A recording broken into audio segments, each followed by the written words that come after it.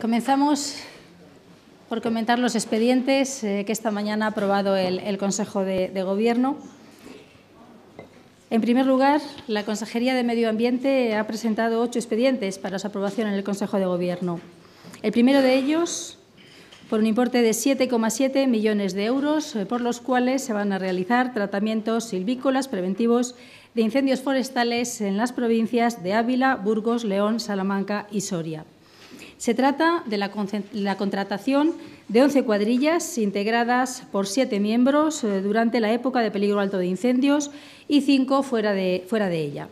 En concreto, eh, se van a contratar eh, tres cuadrillas en Ávila para realizar trabajos en 11 localidades con un presupuesto de 2,5 millones de euros. Dos cuadrillas se contratarán en Burgos para trabajar en 16 localidades, 800.000 euros. Dos en León, trabajos en 15 localidades, 1,7 millones de euros. Dos en Salamanca, trabajos en 10 localidades, 1,6 millones de euros dos en Soria para trabajos en nueve localidades, 1,1 millones de euros.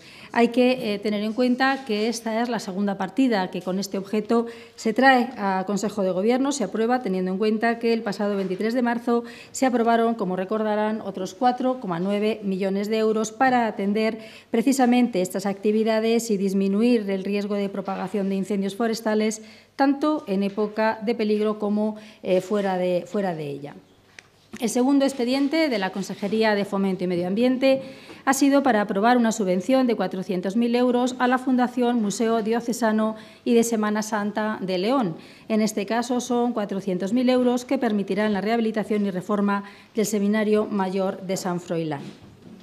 El tercero de los expedientes ha sido para aprobar la modificación de la intersección en la carretera local 600 de Simancas a Tudela de Duero, Valladolid. Se trata de eh, una subvención de 311.125 euros, precisamente para modificar y transformar durante un plazo de tres meses eh, la glorieta eh, que se sitúa entre en la zona de Simancas a Tudela de Duero en esta carretera local. El cuarto de los expedientes de la Consejería de Fomento y Medio Ambiente ha sido para la aprobación de una inversión de 258.000 euros para construir un carril bici en la localidad abulense de Navas del Marqués. De modo que eh, se construye este carril y eh, además se evita el tránsito de peatones y ciclistas por el arcén de la vía. Lógicamente, esta actuación se ejecutará conjuntamente con el ayuntamiento de la localidad. Los siguientes expedientes eh, se refieren todos ellos a mejoras eh, de abastecimiento, a obras para mejorar abastecimiento, saneamiento y depuración de agua en varias localidades de la comunidad autónoma. En concreto, subvenciones directas a cinco ayuntamientos a través de tres expedientes.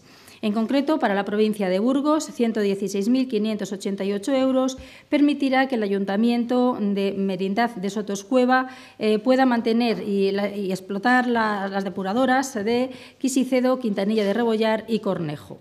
En el ayuntamientos en la provincia de Valladolid, 80.000 eh, euros, tanto Laguna de Duero como Renedo de Esgueva. En concreto, el Ayuntamiento de Laguna de Duero recibirá 50.000 euros para los gastos de adaptación de sus instalaciones de depuración para el transporte de los vertidos a la edad de Valladolid y el Ayuntamiento de Renedo de Esgueva 30.000 euros para las obras de conexión de la red del núcleo urbano de El Cotanillo a la red general del municipio. Otros dos ayuntamientos, en este caso en la provincia de Ávila, recibirán 57.252 euros por un lado, el Ayuntamiento de Mironcillo, 26.510, y el Ayuntamiento de Poveda, 30.742, en ambos casos para financiar obras de mejora de abastecimiento en la localidad. El séptimo de los expedientes de la Consejería de Fomento y Medio Ambiente ha sido para aprobar una subvención de 65.000 euros al Ayuntamiento de Valladolid para la rehabilitación de viviendas para el alquiler. Se trata de seis viviendas ubicadas en el edificio situado en la calle Zorzal de la capital vallisoletana, que pasarán a formar parte eh, de un parque público municipal de viviendas destinadas al alquiler. Se subvenciona el 21,71% del coste total de las obras y eh, forma parte, como no puede ser de otro modo, del acuerdo de la Comisión Bilateral en la que eh, estamos trabajando con el Ministerio de Fomento también y el Ayuntamiento. Eh, con esta inversión, con esta actuación, el Gobierno autonómico ha destinado casi 14,7 millones de euros en la convocatoria de subvenciones al alquiler y ha puesto ya cerca de 1.600 viviendas, 1.650 en concreto viviendas, a disposición del parque público de alquiler, con lo cual queda patente el impulso a la vivienda fundamentalmente para que puedan acceder a ellas quienes más lo necesitan. La Consejería de Sanidad ha presentado también para su aprobación varios expedientes en, el Consejo de Gobierno. El primero de ellos para aprobar una inversión de más de 1,7 millones de euros y poder acceder y suministrar endoprótesis vasculares al Hospital Clínico de Valladolid. Además, también la Consejería de Sanidad ha presentado otro expediente para su aprobación en este caso por valor de 1.408.440 euros para el mantenimiento del sistema de contratación y logística de la Gerencia Regional de Salud durante el periodo de tres años. Se trata de gestionar, como digo, los procedimientos de contratación, logística, suministro y almacenamiento en esta eh, Gerencia Regional de Salud. El tercero de los expedientes de la Consejería de Sanidad es la contratación de los servicios de hemodiálisis extrahospitalaria en el Aranda de Duero por más de 1,3 millones de euros. Se trata de eh, garantizar el tratamiento de hemodiálisis extrahospitalaria a 30 personas, teniendo en cuenta que eh, son las necesidades eh, que en este momento se plantean cubrir en este área sanitaria de Aranda de Duero. El cuarto de los expedientes de la Consejería de Sanidad es para garantizar la actividad quirúrgica de los servicios sanitarios leoneses. 850.943 eh, euros eh, para la realización de intervenciones dentro de la actividad diaria de los servicios de cirugía general, traumatología y cirugía vascular del Complejo Asistencial Universitario de León. En concreto, con este presupuesto se financiarán 615 procedimientos quirúrgicos. Y el quinto de los expedientes de la Consejería de Sanidad es para la colaboración con la Asociación Castellana y Leonesa de Ayuda al Drogodependiente, 170.000 euros eh, que permitirán a esta asociación seguir desarrollando la magnífica labor que vienen desarrollando en todo lo que son labores de prevención de la enfermedad, prevención de la drogodependencia y eh, seguir realizando actividades como vienen realizando hasta ahora en las provincias de Burgos, León, Palencia, Salamanca y Valladolid. Eh, durante el año pasado, y creo que es bueno decirlo, atendieron a un total de 23.963 eh, personas. Y además también se financia con esta partida el tratamiento de los enfermos que están en la Casa de Acogida de Valladolid y que durante el año 2016 necesitaron 15 eh, personas en, la comunidad. La Consejería de Educación ha presentado un expediente para su aprobación por el Consejo de Gobierno se trata de iniciar las obras que permitirán la segunda ampliación del Colegio Infantil y Primaria Gerardo Diego de Golmayo, en Soria. 1.876.793 euros eh, que eh, empezarán a ejecutarse eh, a partir de enero de 2018 y tiene un plazo de ejecución de 12 meses. Con esto se ampliará con tres unidades de infantil y seis de primaria mediante la construcción de dos nuevos edificios anexos. La inversión prevista se estima superior a los 2 millones de euros eh, si incluimos en el presupuesto de ejecución, que es el que se presenta aquí, lo que puedan ser los honorarios facultativos y el equipamiento que necesitará posteriormente este nuevo espacio escolar. La Consejería de Cultura y Turismo ha presentado seis expedientes para aprobación eh, por el Consejo de Gobierno. El primero de ellos, por importe de 620.958 euros, que permitirá celebrar en 2017 y 2018 un plan de formación turística en Castilla y León. Importante, eh, puesto que es un plan que va a permitir mm, dotarnos de actividades formativas específicas, fundamentalmente en gastronomía, enoturismo, turismo rural de naturaleza y turismo activo, calidad turística, atención turística, además de idiomas a través de Internet y formación online cinco áreas eh, en las que se incluyen actividades formativas novedosas eh, que permitirán reforzar, sin duda, al equipo que eh, ofrece esta información en, nuestro territorio y con ello seguir impulsando el turismo de interior en Castilla y León, que tan buenos resultados viene dando a lo largo de los últimos años.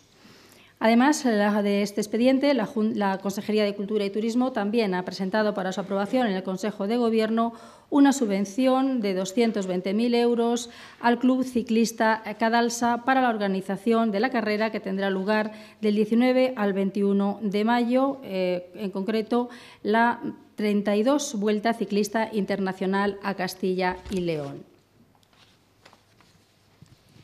El tercero de los expedientes de la Consejería de Cultura y Turismo es para conceder 230.000 euros al Ayuntamiento de Ciudad Rodrigo para financiar la celebración de la 20 edición de la Feria de Teatro de Castilla y León, prestigioso eh, espacio en el que además eh, hay compañías eh, profesionales muy importantes que aseguran su presencia en, este, en este espacio cultural.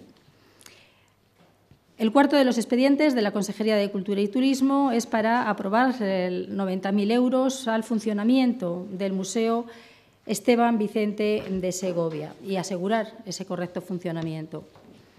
El quinto de ellos es el apoyo con 45.000 euros a la celebración del decimoctavo Festival Internacional de Blues de Castilla y León en Béjar, Salamanca, y, finalmente, eh, la concesión de 25.000 euros a la Federación de Castilla y León de Fútbol para financiar la participación de la selección de fútbol de la comunidad en la Copa de las Regiones de la UEFA 2017, que se celebrará en Estambul, en Turquía, del 1 al 19 de julio. Estos han sido los expedientes eh, que esta mañana ha conocido el Consejo de Gobierno y eh, que se han aprobado convenientemente. Y a partir de ahora estamos a su disposición para cuantas cuestiones se puedan, se puedan plantear.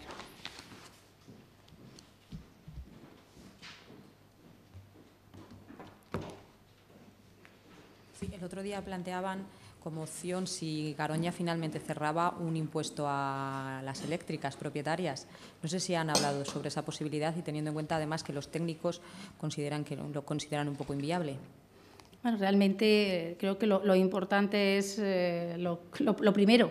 Y en este caso, lo primero es no distraernos en el tema que nos ocupa y es la actividad de Garoña, toda vez eh, que precisamente el Consejo de Seguridad Nuclear ha planteado que eh, previas actuaciones y previas inversiones necesarias puede ser segura y una vez eh, que sea segura, eh, lógicamente lo que debemos es impulsar esa actividad y sobre todo el mantener y el apostar por esos mil puestos de trabajo.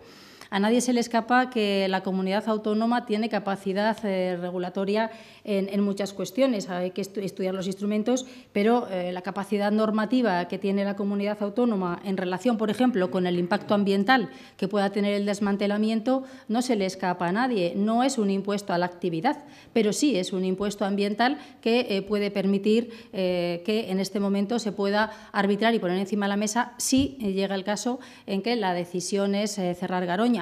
Lógicamente, lo que no se entiende muy bien es que eh, uno de los socios diga que no es viable la inversión, que otro diga que sí, que bueno, creo que esto es un tema eh, mucho más serio, es un tema de garantía de suministro energético en el país.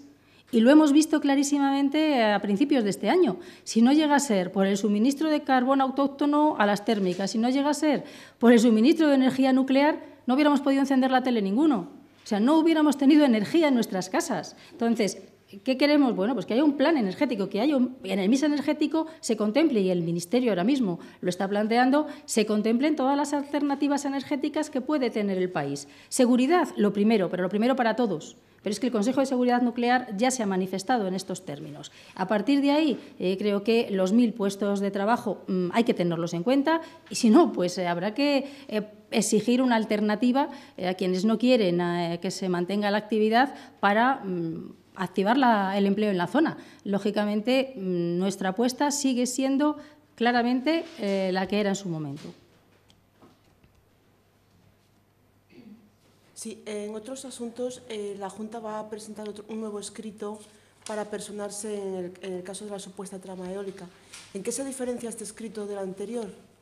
Vamos a ver, eh, la Junta ha presentado ya inmediatamente eh, un, segundo, un segundo documento de personación precisamente eh, en este tema porque mm, consideramos eh, los hechos mm, no graves, sino muy graves, como yo les decía el, pasado jueves, y lo que queremos es, eh, desde luego, mm, poder personarnos, pero conociendo el documento. Queremos tener acceso a esa querella que hasta este momento no tenemos. ¿Qué hemos hecho? Pues lo saben perfectamente. En el mismo momento en que apareció información en un medio de dirigirnos a la Fiscalía Anticorrupción para conseguir esa querella, para saber de qué estábamos hablando. Una vez eh, que no hemos obtenido respuesta y también eh, hemos conocido, y lo tenemos que agradecer a los medios de comunicación, que esa querella estaba en un juzgado en Valladolid, eh, inmediatamente los servicios jurídicos han ido personalmente al, juzgado a personarse y a pedir la querella para saber en concepto de qué y, cuál era la, qué se derivaba ¿no? de, la querella y poder eh, hacer eh, un escrito de personación con el contenido mm, lógico, conociendo lo, que, lo que es la querella y sabiendo de dónde nos movemos. ¿no? En este momento, mm, en cuanto el juzgado determinó que había que precisar más, lo que hemos hecho es eso, precisar más y establecer precisamente que nos queremos personar ante la posibilidad de que haya perjuicio para la hacienda pública y como acusación particular.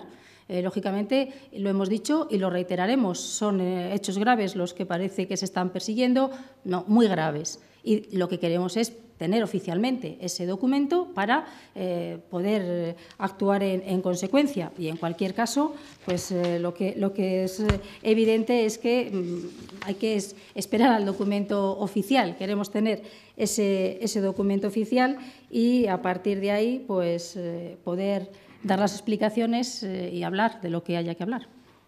Pero perdón, no he entendido. ¿En qué se, una vez que el juzgado ya lo ha rechazado una vez, en este, ¿qué es lo que se precisa exactamente para que no...? Pues mire, le voy a, le voy a leer el contenido de las dos personaciones para que eh, quede eh, suficientemente claro.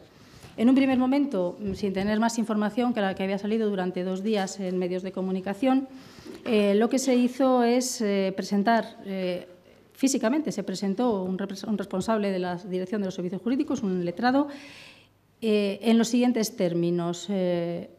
Suplico al juzgado tenga por presentado este escrito, documentos que acompaña, copia tal.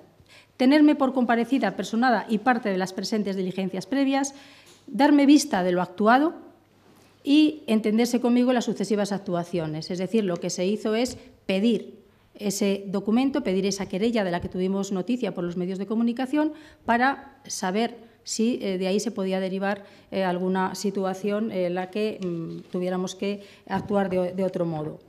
Una vez que se nos ha dicho que no podemos, que esto no era suficiente, lo que se ha hecho es personarse en los mismos términos que lo ha hecho la abogacía del Estado, eh, porque eh, de los papeles eh, pues se puede deducir que en este caso, y les leo también textualmente, puede haber actuaciones que representen un perjuicio o posibles perjuicios que se pudieran haber pudieran podido ocasionar a la hacienda pública de la comunidad o a los intereses públicos que representa en concepto de acusación particular por cuantos delitos y o faltas pudieran derivarse de la instrucción de las mismas. Este es el segundo escrito de personación. Por lo tanto, eh, lo que se ha hecho es eh, que la representación procesal eh, habiendo tenido conocimiento de la tramitación, las diligencias previas antes indicadas, insisto, aún por los medios de comunicación y porque el documento fluye el presunto documento por los correos electrónicos, eh, lo que estamos haciendo es defender, lógicamente, eh, los intereses de, la comunidad autónoma. Eh, si no tenemos el documento oficialmente es complicado, por lo tanto era obligado el personarnos, primero por si hay perjuicio para la hacienda pública o se puede derivar perjuicio para los intereses de la hacienda pública y sobre todo y fundamentalmente también en concepto de acusación particular por los delitos eh, o faltas que pudieran derivarse de la instrucción del procedimiento que se inicia en este momento. Por lo tanto, eh, creo que los pasos que se han dado son los que se podían y se debían dar en, todo momento. Sí, no sé si me ha quedado claro que la Fiscalía Anticorrupción no les han contestado, ni sí ni no. Y luego, por otro lado, eh, el hecho de personarse eh, por si hubiera perjuicios con la, la, Hacienda Pública, desmiente un poco la primera teoría de la Junta de que era una trama en el que no había dinero público. No, vamos a ver, estamos hablando eh, precisamente de, de delitos, es lo que, lo que aparece, de delitos, eh, por un lado, de prevaricación, de cohecho y blanqueo. No aparece malversación de fondos públicos, por lo tanto, eh, se entiende, si no hay malversación de fondos públicos, no ha habido mmm, dinero público que haya servido para esta, para esta trama, es decir, la Administración autonómica, los presupuestos, para entendernos, de los presupuestos de la Junta de Castilla y León no ha salido dinero eh, para esta actividad. De hecho, entre los delitos que establece eh, la querella no está la malversación de fondos públicos. Pero sí hay tres delitos contra la hacienda pública, es decir, los referidos a la renta sobre las personas físicas por posiblemente haber eludido eh, pagos tributarios, pagos de algunos tributos. En la medida en la que eh, si ha habido algunos pagos que no se han hecho y hubiéramos podido recibir una parte correspondiente a esos pagos, podemos considerarnos perjudicados como eh, perjuicio a la, hacienda pública. Son cosas diferentes. Pero lo dice, eh, lo, han publicado ustedes en, los, las diferentes informaciones. Eh, ¿Cuáles son los delitos que establece la querella? ¿no?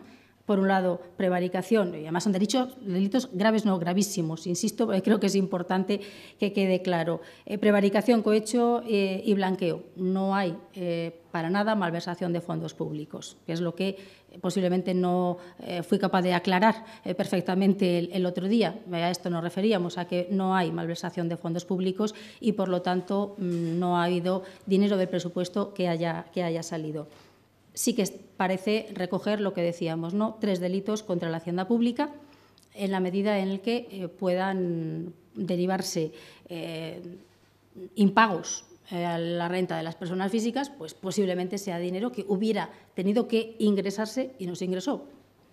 Son cuestiones diferentes totalmente compatibles. Una de las peticiones que ayer planteaba el procurador del Común hacía referencia a la gestión de las listas de espera, no solo quirúrgicas, sino también de especialistas y de diagnóstico. La Junta de Castilla y León se está planteando el establecer un mínimo de espera para estos dos casos, como ocurre en otras comunidades autónomas, como Navarra o Extremadura o Murcia, que sí que lo tiene gestionado. Bueno, yo creo que la, está claro el, la preocupación que tiene la, lista, la Junta de Castilla y León respecto a la lista de espera. De hecho, estamos trabajando en un plan importante que todos ustedes conocen, el Plan Pericles. Es un tema mmm, complicado que es estructural en todos los sistemas eh, sanitarios, en todos los sistemas de salud eh, a nivel nacional y allí donde funcionan eh, con, con, buen, con buenos indicadores y buena percepción por la población. Pero es cierto que el interés de la Junta de Castilla y León es precisamente reducir las listas de espera. Es importante lo que dice el procurador del común, sin ninguna duda, pero hay que ponerlo en, relación con la actividad quirúrgica y con el volumen de, trabajo también con los datos que hemos conocido en un año de funcionamiento precisamente del programa Pericles. Hace muy poquito el propio consejero explicaba los resultados de, de este programa y la lista ha descendido en 4.151 pacientes, es decir, un 12,5%. Se ha priorizado, desde luego, todas las actividades urgentes y en esa priorización eh, se ha conseguido que el 100% de los pacientes cuyas patologías están establecidas por los profesionales como prioridad 1 se resuelvan en un plazo inferior a 30 días. Esa es la línea de trabajo, nuestro interés, que no haya ninguna reclamación ni ningún problema en el funcionamiento eh, complejo, como digo, y estructural de las listas de espera. Ahora, eh, teniendo en cuenta el, valor, y es importante que tienen la, eh, las, soluciones del Procurador del Común, también hay que decir eh, que mm, de listas de espera eh, realmente ha habido cuatro resoluciones, es decir, mm, si en el conjunto de las resoluciones eh, que ayer comentó el Procurador y que ha presentado su balance, la sanidad realmente representa aproximadamente un, un 6%, en función de si son resoluciones son quejas, un 3%. Bien, ¿qué es lo fundamental? Que en listas de espera ha habido tres casos que se referían a expedientes iniciados en 2015 de cuatro resoluciones, es decir, mm, estamos eh, trabajando para que eh, cada vez esto se reduzca más, eh, cada vez sea más rápida la asistencia. Para eso están los presupuestos, precisamente por eso el impulso eh, presupuestario que tiene el, sistema sanitario público de Castilla y León. El consejero comparecerá para explicar los presupuestos de, de sanidad, pero ustedes saben que la gran apuesta de la Junta de Castilla y León son precisamente los servicios sanitarios, sociales y la educación, los servicios esenciales básicos si tenemos en cuenta esto y lo ponemos en relación, estas eh, estos cuatro resoluciones relativas a listas de espera del procurador, lo ponemos en relación con los 2,3 millones de pacientes o los 42, los 42 millones 900 mil actos clínicos que hay al año, pues estamos hablando mm, de un tema que nos preocupa y queremos resolver, pero que en dimensión pues eh, creo que está bien enfocado. Sí, sobre el impuesto, el impuesto por el desmantelamiento de Garoña, me gustaría saber si desde que lo anunció el otro día la, consejera se han puesto en contacto, ha habido algún tipo de contacto con las empresas eh, afectadas y si está cifrado lo que se podría recaudar a través de ese impuesto. Bueno, esto ha sido ayer, por lo tanto hay que dar tiempo a que, a que se estudie. Eh, la posibilidad normativa, desde luego, existe, pero mm, no nos despistemos. Es que no queremos poner el impuesto, es que queremos que vuelva la actividad de Garoña. Por lo tanto, lo que vamos a seguir es insistiendo en que eh, si es, insisto, segura y es necesaria, que se haga un planteamiento en el que en el MIS energético se contemple tanto la nuclear como el carbón autóctono y, por tanto, tanto Garoña como el resto de eh, cuestiones que tenemos en la comunidad autónoma vinculadas al carbón autóctono.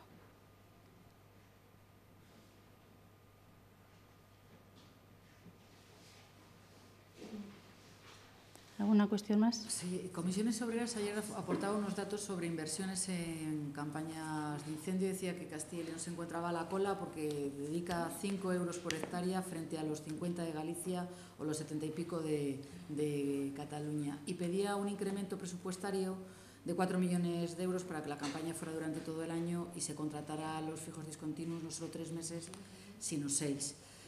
Yo no sé qué explicaciones ante esos datos tiene la Junta de esa escasa inversión que denunciaban los sindicatos. Bueno, yo creo que no estamos hablando de escasa inversión, sino de un sistema mixto, que es el que tiene la Junta de Castilla y León para responder a los incendios y que viene respondiendo con celeridad, como hemos visto en los graves incendios que ha habido, incluso eh, fuera de campaña, eh, fuera del periodo máximo, máximo de incendios. Por lo tanto, eh, lo que hace falta es que el sistema y el operativo siga funcionando y, sobre todo, que eh, cualquier actuación de estas características absolutamente ilícita y perseguible se denuncie, eh, que es lo que tenemos que hacer, perseguir al pirómano y atender, lógicamente y con eficiencia, a los incendios como se viene haciendo.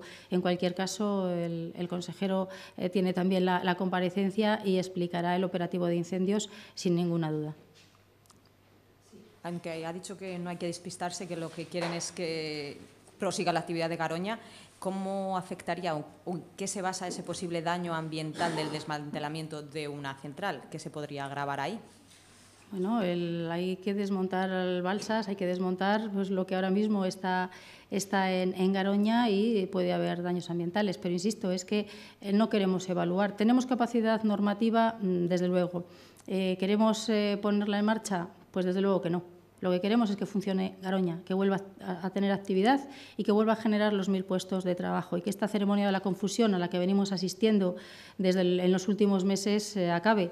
Alguien tendrá que explicar por qué en un momento determinado se plantea precisamente el que se vuelva a estudiar la seguridad de la planta y en un momento determinado eh, desaparezca o se extinda o mm, piense otra cosa no, parece que tenga eh, mucha consistencia cuando uno de los eh, socios eh, dice que es viable y otro de los socios dice que no lo es, cuando incluso quien dice que no es viable económicamente lo dijo antes de conocer el periodo de vida útil que se estaba planteando por parte del Gobierno de la Nación. Creo que lo que hace falta es que toda esta situación se aclare. Insisto, capacidad normativa tenemos, pero lo que queremos es que la actividad de Garoña se, vuelva, se vuelva a recuperar.